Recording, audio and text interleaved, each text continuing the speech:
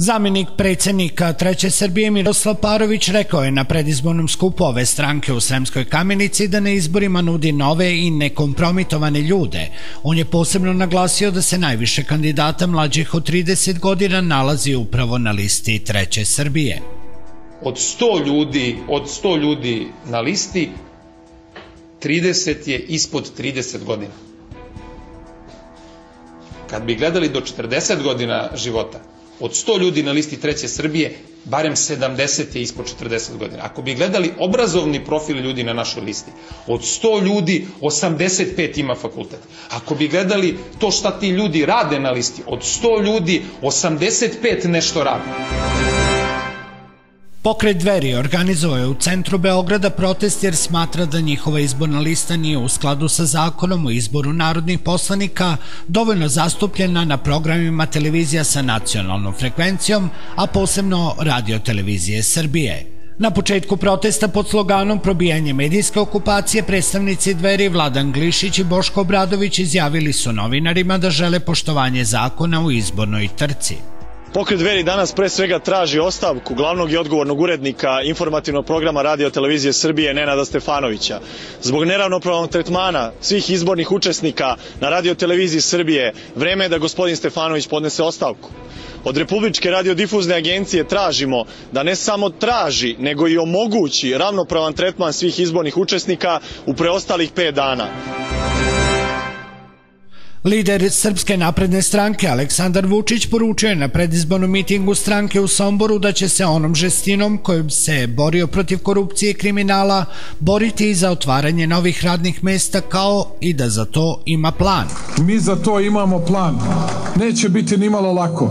Ja nisam došao da vam se ulizujem. Naš je posao da napravimo nacionalni prioritetni plan. Da kao što sam rekao malo pre, novac odvojimo da različitim posticajima, paketima posticaja, ne samo novcem, već i poreskim olakšicama, infrastrukturnim radovima, uzmemo da privučemo i strane investitore, ali da posebno postičemo domaće. Lider Liberalno-demokratske partije Čedomir Jovanović izjavio je u razgovoru sa biračima u Loznici da prvi čovek naprednjaka Aleksandar Vučić mora da prihvati politiku LDP-a ukoliko zaista očekuje njegovu podršku. I Podrinje, i Mačva, i Srbija su gladni i siti politike, siti praznih reči, neiskrenih obećanja, političara koji uvek pred vas izađu u izbornoj kampanji i dođe ovde među vas u Lodnicu da bi uzeli vaše glasove. Kaznite one koji bi vaše glasove, a podržite one koji sa vama žele nešto da rade. Zbog toga sam došao ovde kod vas. Rukovodstvo Srpske radikalne stranke pokreta obrazi SNP naši pozvali građane da na izborima glasaju za njih, a zamenik predsjednika SRS Nemanja Šarović je sa mitinga u Beogradu poručio da glas za radikale znači glas za povratak Vojislava Šešelja u Srbiju. Gde god dođemo u Srbiju, prvo što nas pitaju, pitaju kada će se vratiti srpski junak, doktor Vojislav Šešelj. Vratit će se kada sa vlasti oteramo bitange koje su opljačkale Srbiju, kada oteramo one koji su molili Karlu Del Ponte i koji su rekli vodi Šešelja u Hag i ne vraćaj ga više. Oni Vojislava Šešelja drže jer misle da na taj način uništavaju njegovu srpsku radikalnu stranku.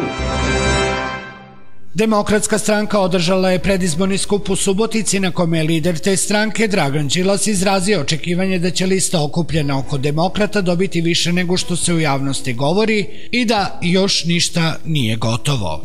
Ja mislim da nije dobro kad ljudi koji su dugo bili u stranci odlaze kako god da se oni zvali, da nije ni moralno ni korektno to da urade na ovaj način na 40 dana pred izbore kad njihova politika ne dobije podršku. Verujem da će to jedan deo ljudi sigurno dovesti u to da se malo zbune šta se dešava, da mi kroz kampanju treba objasnimo da smo mi ta demokratska stranka, ali da ćemo i dobiti veliki broj onih koji nisu bili zadovoljni i odnosno recimo prema Vojvodinjenoj autonomiji, spoljnoj politici, poljoprivredi, reformi pravosuđa, jer ti danas više nisu gde su, oni su otišli sa Borisom Tadićem. Predsjednik Nove demokratske partije Boris Tadić izjavio je da je formirao tu partiju kako bi okupio građanski potencijal u Srbiji i poručio da pored sebe želi ljude koji hoće da rade, a ne karijeristi i funkcionere koji uglavnom brinu o sebi. Formirao sam Novu demokratsku stranku jer sam bio nezadovoljan načinom na koji je vođena moja bivša stranka. Formirao sam Novu demokratsku stranku da objedinim svaki građanski potencijal u Srbiji. Formirao sam Novu demokratsku stranku zato što ne želim karijeriste pored sebe, već želim ljude koji hoće da rade i da iskažu sav samopregor koji mogu i sav svoj talent da realizuju za dobro drugih ljudi. U Srbiji postoje dve ozbiljne političke partije, Srpska napredna stranka i Socijalistička partija Srbije, izjavio je lider SPS-a Ivica Dačić i dodao da su u prethodnoj vlasti te dve stranke dobro funkcionisale. Mi zato na ovim izborima želimo veoma jasno da mi ne tražimo od naroda da nam veruje na reč, da nam veruje da nam da kredit politički. Mi tražimo od naroda da sasluša i vidi naše garancije za to ćemo raditi. Predsjednik Demokratske stranke Srbije Vojislav Koštunica izjavio je u Kragujevcu da je Srbiji potrebna nova državna politika koja neće voditi računa samo o evropskim integracijama, već i o državi Srbiji, njenom razvoju i životu njenih građana. Tu politiku Evropske unije smo videli da budemo potpuno nepristrasni na delu preizvesnog vremena pre koji dan u Ukrajini.